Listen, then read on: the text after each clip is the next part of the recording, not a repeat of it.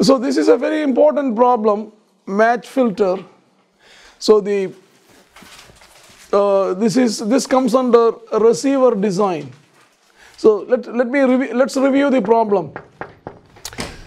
A signal and noise are coming in. So what you uh, what you see is uh, the signal might be a, a good. So this might be a signal. So signal is a deterministic signal, and it is contaminated by noise. That's the input signal. A known signal is contaminated. And uh, so, so what comes in here may look like this. And, and we want to do a processing to it to determine at the output, you just want to know uh, yes or no. So you may want to do something like, so yes means the question is this one, is this signal plus noise or is this just noise? Looking at it, you can say, right, we have to do some processing. Now, some of you may be asking, if the signal is known, why bother? Why don't you grab the signal from here? But uh, in communication also look like this, maybe this is representing bit 1 and let's say the flipped version which is BPSK is representing minus 1. So you don't know what is going, what is coming in. It could be this plus noise or uh, another signal which is minus of that or no signal plus noise. So this may represent uh, the zero bit.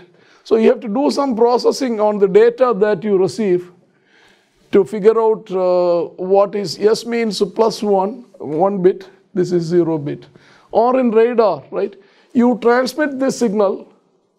If there is an object there, then the signal will come back at you. And of course, you are, you, what you are seeing is this. Then you are asking, is this signal plus noise or this is just noise?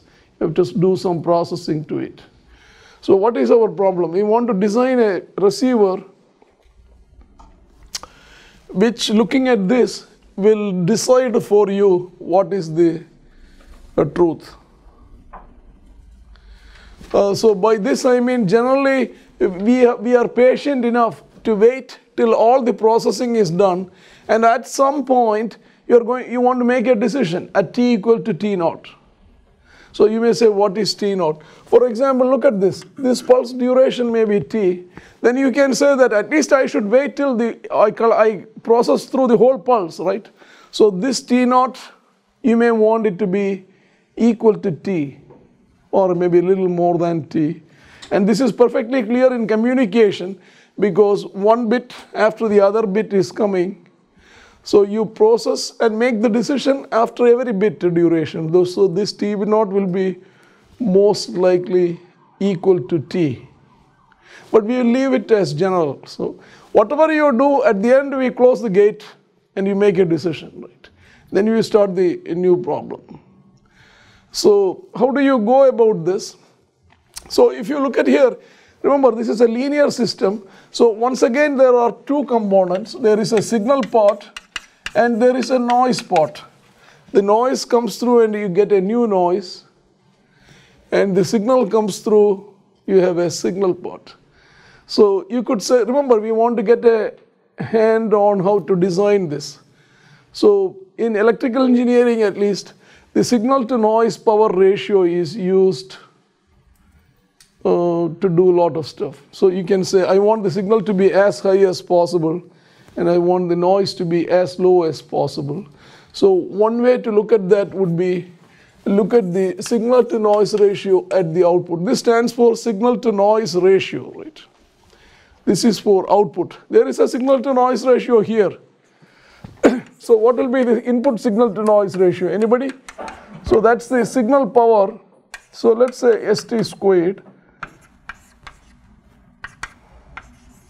What will be the noise uh, power?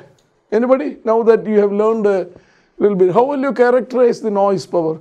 So, hello, for the, for to speak about power, you need some. You, you have seen this. Now you need some white wide sense stationarity. Okay. So, according to this expression, what would you put at the denominator? Noise power. Huh? I mean, or. Uh, Remember, 0 to t has no meaning here. This is a stochastic process. which goes from minus infinity to plus infinity being wide sense stationary. So look at this. This is average noise power, right? Expected value of nt squared. And if you want to write it in terms of autocorrelation, what this will be? Anybody? RNN? Zero. Zero. Very good. And you can write it in terms of its power spectrum if you want to write this will be?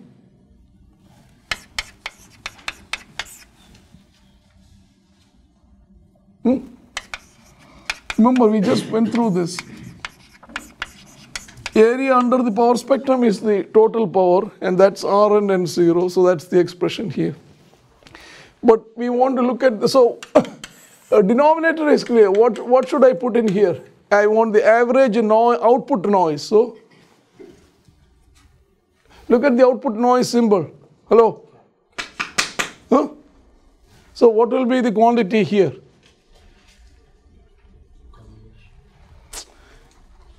This noise goes through the system to generate W of t. So what will be the uh, average output noise? Anybody? Anybody is listening here? I'm saying what is the, remember I want signal power to noise power. I'll come to the signal in a minute. I'm dealing with the output. So what is the output to noise power? Expected value of? So I just went through this, so you didn't pay any attention here. How do you compute the input noise power? Input signal energy, this is ES, divided by average output noise power. Why average? Because this doesn't make any sense. This is a stochastic process. So I can't just write like this. I cannot write what heat said either, 0 to t. What happens to the other noise? Noise is everywhere. So this is the quantity that makes sense, right? RMS value. Output. No, no, no, that's output, not output. This is input, right? Let me just finish. Uh, he asked me, hello. So this is the input noise power, average input noise power. You can write it in terms of its autocorrelation or say a spectrum. That's irrelevant, right? So this is by RNN0. So if you if I want to do the similar quantity at the output, what would be that at the denominator? Expected value of Wt squared at least. So that's the output noise, right? Or if it is complex, you can write it like this. And how about here? So that's the, yeah? Integral 0 to Right. So the couple of ways you can do it. What turns out to be useful is you take the instantaneous value of the signal.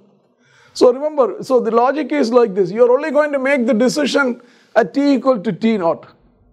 So at t, I want what I want to do is I want to do some receiver design so that at t equal to t naught, the receiver should be such that it should peak the this my s hat of t should look like this because this is when I make the decision, right? This is like saying when you take the photo, you want to look good, right? So similarly, at t equal to t naught, if the decision is being made, you only you want to make the signal peak at that time and the noise is going to be you suppress it as much as possible. You cannot do anything to the noise here because you can only get a grip on the noise in an average sense. So we took care of the noise. So for the output we are going to do this. This is not what you said or what you were trying to say. We could have done something similar here also at the output. Logical thing hello would be integral 0 to t s hat of t dt squared dt. But then you can see you are making an average quantity. Why should I try to maximize here when I am not looking there, right? See, the decision is only being made here. So this is the, I think, the philosophy of the Greeks. Do only the bare minimum, do the problem in front of you, not try to, we don't need to maximize here we are looking here, so that time the signal should look as high as possible. See, now we can use uh, what we learned in the little earlier. So this quantity is what? R R W W. Why 0, isn't it? Why N and 0? You keep saying it doesn't matter. This is R W W 0. I agree. WT is of course NFT convolved with H of t. So R W W tau will be what? Anybody?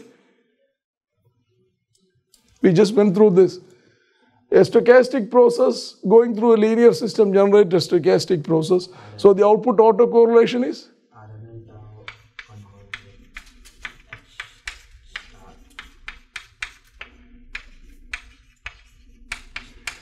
and the output spectrum is input spectrum into uh, into H omega square. Right? So how will you get RWW0? Anybody? Or for more example, let me write down the S hat of T naught is what? S. So S hat of T is what? S of ST convolved with H of T, right? Look at here. Output signal is input signal convolved with S of T. This is not a stochastic signal. This is a deterministic pulse, most likely. So what is S hat of omega? Anyone? Here, if you convolve two signals, what is the Fourier transform? So this will be S omega multiplied by H omega. So S hat of t will be what? Inverse Fourier transform of this quantity. Hello? Yes? So that's going to be what? Minus infinity to plus infinity. S hat of omega, which will be S omega H omega e raised to right? So this is the expression I am going to put it here. So this is S omega H omega e raised to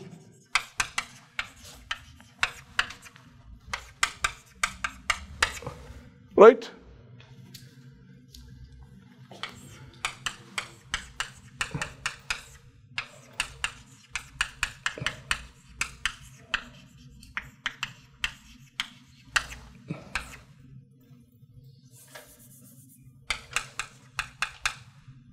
So squared divided by here. How will you compute uh, RWW0 from here? Anybody? So what's the relation between these two? What's the relation between these two? Alright, so this is the for inverse Fourier transform of this. We went through this. So area under the power spectrum is what? Equal to? A- For any process, area under the power spectrum is autocorrelation evaluated at zero, right? Because look at here, R, RWW tau is inverse Fourier transform of SWW omega, right? Put tau equal to 0, so you get 1 over 2 pi SWW omega d omega is RWW0, right? But look here, somewhere else. Yeah, so let me substitute for SWW into this expression. So this is 1 over 2 pi minus infinity to plus infinity S n n omega h omega squared d omega. so which is what I'm going to substitute here, okay?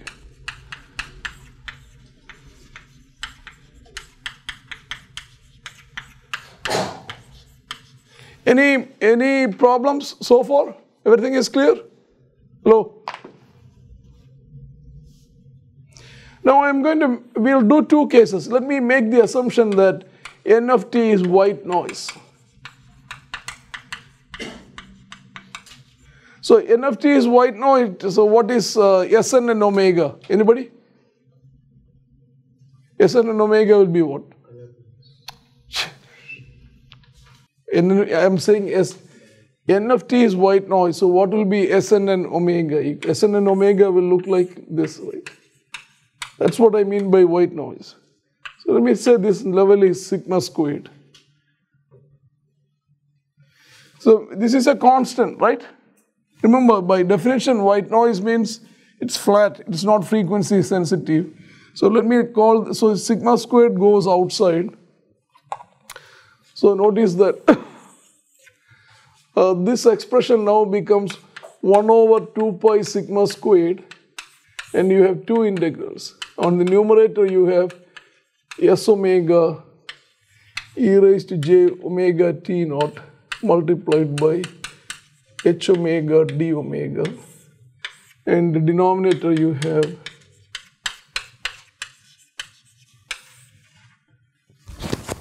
this is true I just put this term together here. And I pulled out this constant outside. So that constant is here. 1 over 2 pi comes twice. So it cancels with this. So you have this. Now anybody has heard about Schwarz inequality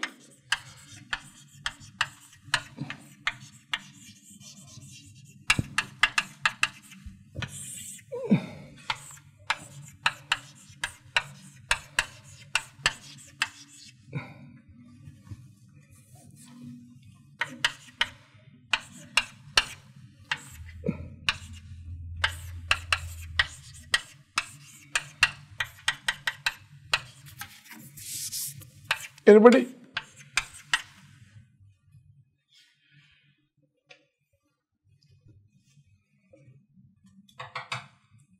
What is it? No one? No one in this class? In fact, I think we did this uh, in, uh, in relation to show that variance or something is positive. Autocorrelation.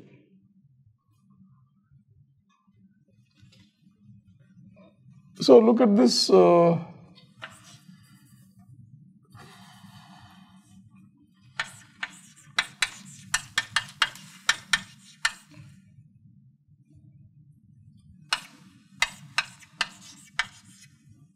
this will, if you integrate this quantity, it doesn't matter what is A and B, what will you get? No, no, no, we'll explain in a second. But first of all, some positive, so this will be true, right? Yes. So the, this side you can write it as what? So let's say so we'll make it simple.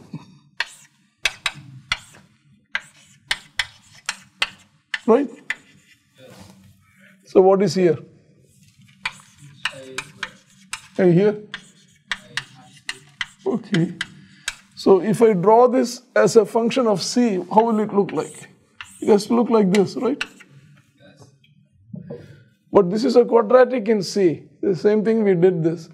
So the quadratic has two roots. So what happened to the roots? I don't see any roots here.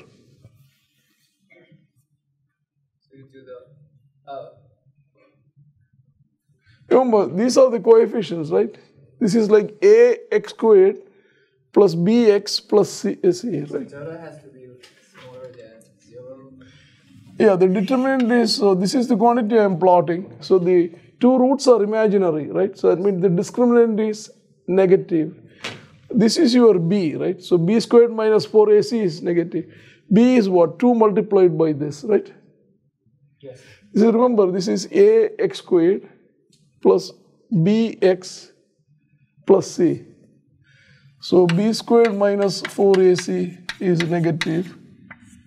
Uh, so for example, this is your A, this is your C.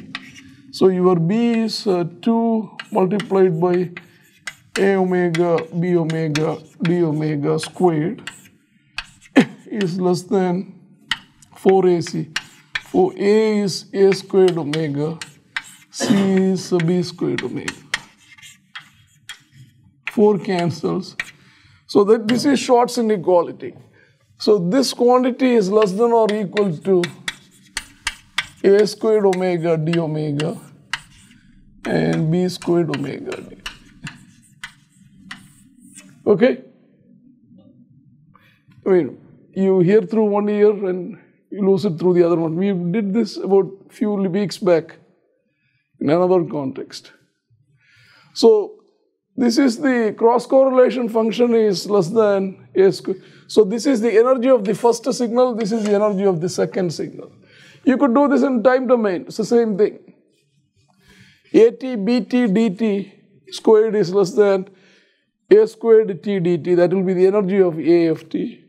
B squared T dt. So here you will get this one. We don't need it now, but this is also true. All right, look here. So this is my A function. Uh, this is my B function. So I'm going to do one more.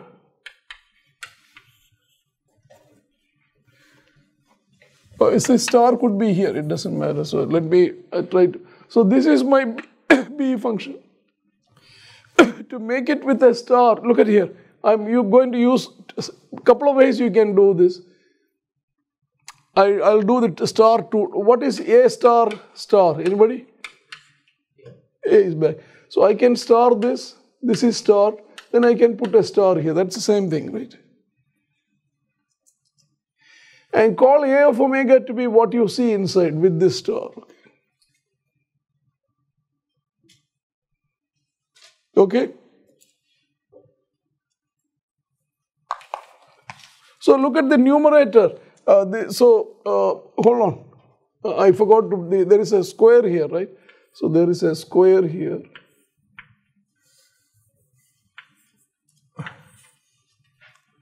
So look here, this squared is exactly the same thing. A, a, integral a star b omega squared is less than a squared b squared.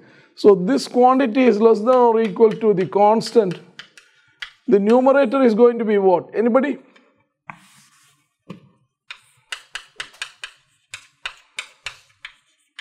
So the numerator is the first of the quantity squared, that's s omega e raised to j omega t naught squared d omega.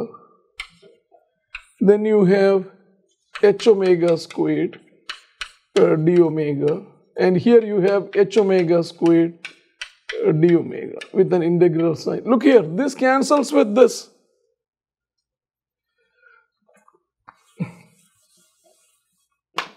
So this now leads to 1 over 2 pi sigma squared integral s omega squared d omega. So 1 over 2 pi I am going to write it here and sigma squared I will put it here. What is this quantity on the numerator? Anybody?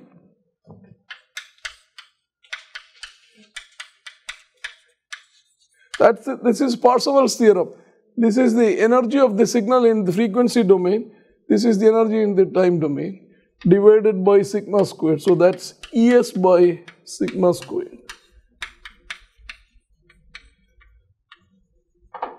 But look what it says. The maximum value, look, we want to maximize this. Here is the punch line. We want to maximize this quantity. Look at here. This quantity is less than or equal to this quantity. This is the input signal to noise ratio. So what is the maximum value that the output signal to noise ratio can take? What is the maximum value? Equal to this. So I can call this quantity to be SNR output maximum, right? Maybe I forgot to tell another thing here. So the question is when will you have equality here? And you, you can see when one function is proportional to the other, when b omega is uh, k times a omega, that's when you have equality. If you want equality, you put uh, one function need to be proportional to the other one. Same thing here. Okay. So of course we want remember we want to maximize this quantity equal to here. So we want equality here. If you want equality, one function, this function need to be proportional to the other one. Uh, so, or I'll do it here. So we could say SNR output is maximized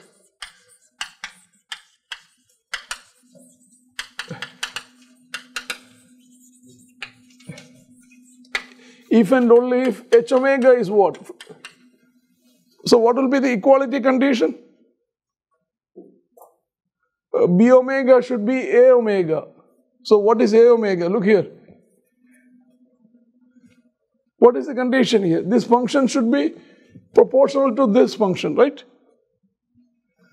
This function and this function should be proportional. So this is the role of B, this is the role of A. A is the inside quantity. So take the proportionality constant to be 1. You can take anything you like. So that should be S star omega. Is it a minus? Right. So how do you translate this into time domain? Anybody? You look through the tables, we did this earlier. This will turn out to be, remember what was the transform of S star omega? It was S star of minus t, isn't it? So this will be n plus this. So easiest way is you start with this function, show that its Fourier transform is this, or use the properties. You, let's find the, quickly the Fourier transform of the right side. So that's minus infinity to plus infinity, S star t naught minus t. right? So let me call this a new variable tau. So this is my minus limits are still the same. S star of tau e raised to minus j omega. So tau is t naught minus t. So t is going to be t naught minus tau. So this is t naught minus tau. dt will be, you can see, minus d tau. And the limits I made a mistake because when t is minus infinity, tau will be plus infinity. So this will be plus, this will be minus. But because of this minus, this will flip again. So you will have minus infinity to plus infinity.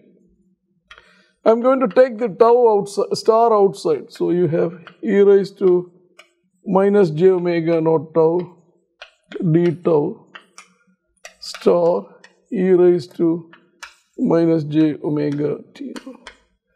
But this is the Fourier transform of S of omega.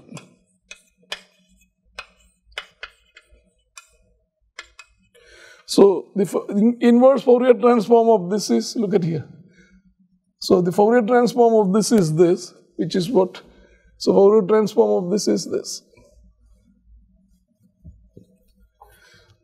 So we solved this problem. We were looking for the best receiver. So the best receiver, as you can see, has some connection to the signal that you are looking for. That's why this is called matched filter.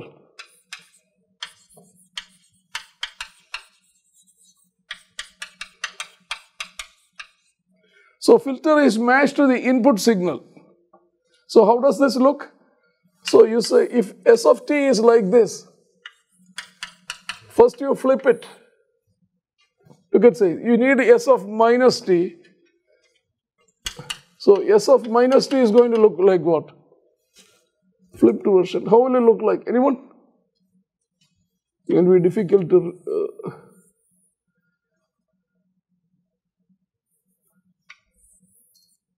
right? Flipped version.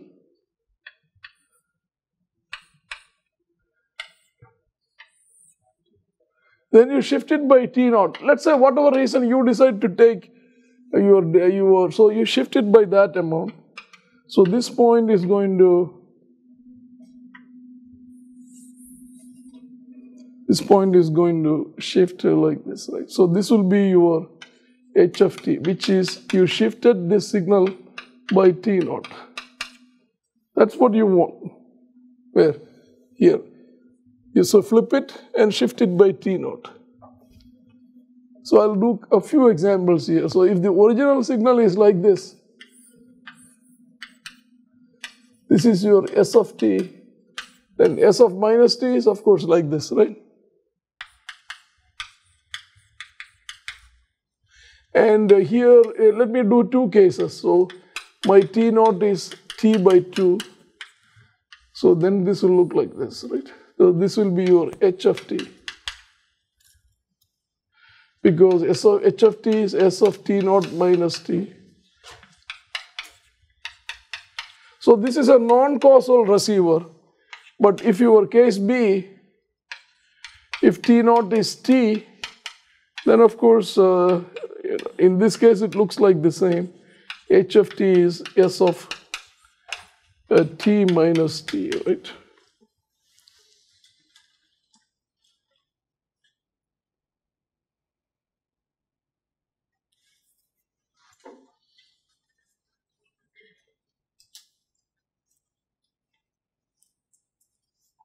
Any questions?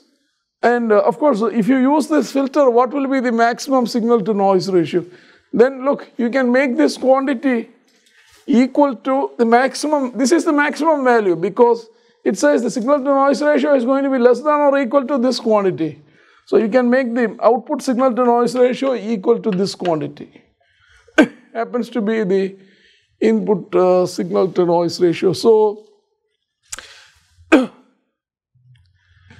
uh, where you uh,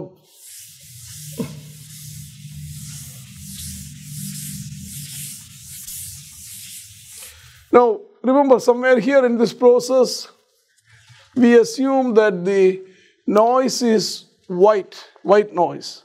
So what if the noise is not white noise? So then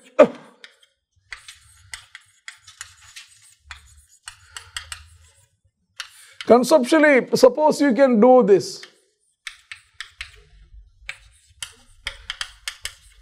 If you can design a filter which will do this job, so you have uh, you have ST plus NT, but NT is colored noise.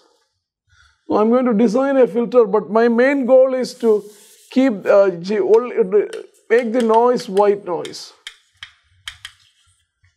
Anyway, if I pass it through, if, if, I, if I pass the signal through uh, GFT, what will be the output? Anybody? what will happen to the signal? If I pass the signal through a linear filter, what will be the output? Alright, so SG of t will be S of t convolved with G of t, right? Right? And let's say this has got a transform g of omega. And I'm going to uh, design a first a filter so that this is like saying you convert the problem to something familiar. If a signal plus white noise, you know how to solve the problem, right? What would be the best filter to use here? Anyone? What is the, if I have a signal plus no, white noise coming in, what is the best filter to maximize the signal to noise ratio? Match filter. To what? So what will be the filter? HFT will be what? It's written there, right? A star of? A star of what? S. What is S there? Whatever is the input here, not this S. Remember, I'm trying to show you how to solve this problem. So conceptually, let's say we can design a filter which will transfer the, so I'm only concentrating on the noise here. See, one difficulty at a time. You convert the colored noise into white noise. Of course, unfortunately, the signal will get transformed. So S will become SG, but I know the best filter is SG. so if you're going to make the decision at T naught, I have a match filter and this is called whitening filter.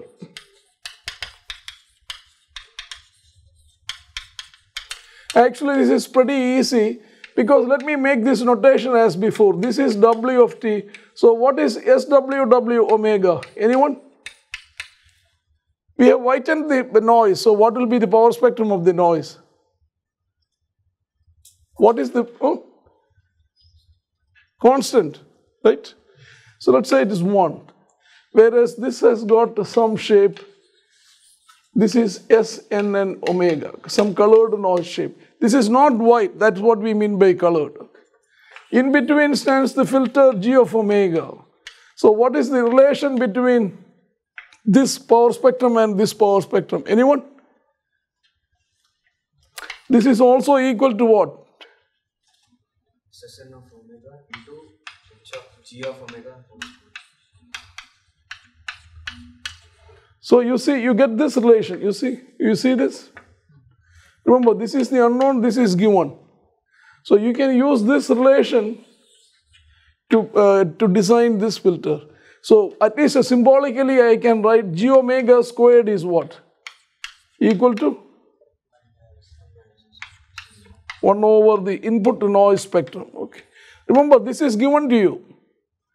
So it's another, so the next uh, uh, important thing will be how do I find a filter which is useful? So you want a filter to be stable, realizable, etc. So that this filters, if I give you a power spectrum, how do I find a filter which will satisfy this? For the time being, let's assume that that's called the whitening filter. Okay. So this will be a topic by itself. So if you can find out the whitening filter, that will be the filter you use.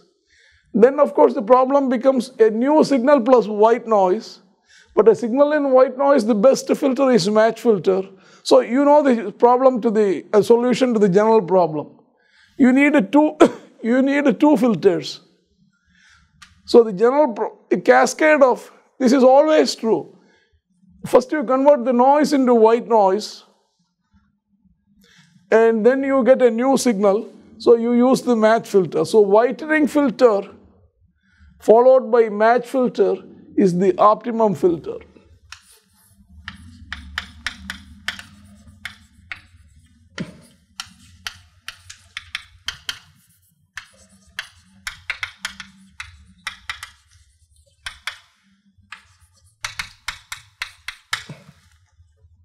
Right?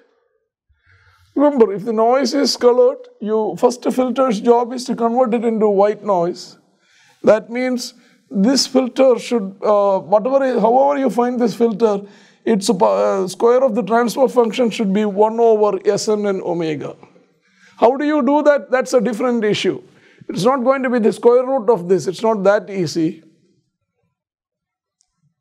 So that's a filter design problem given the spectrum.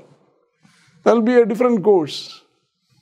But we can, we can look at, uh, I can give you, at least in simple cases, I can give you, maybe we'll discuss this next time.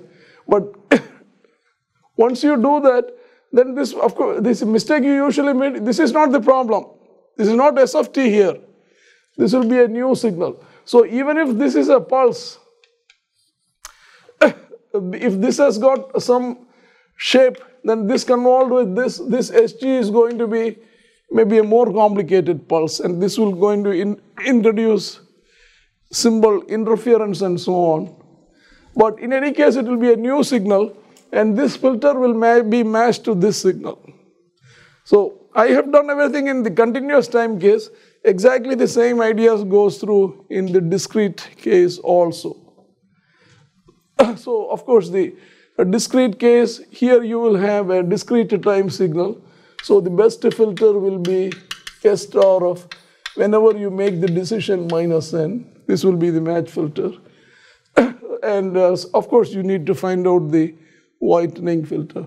So the whole point is whitening followed by match filter uh, is the optimum receiver design.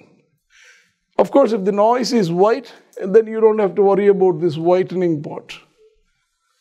You just deal with the match filter part, right? So the match filter, of course, the match filter matched to what? Whatever is coming in, the input signal, okay? Any questions here with our examples?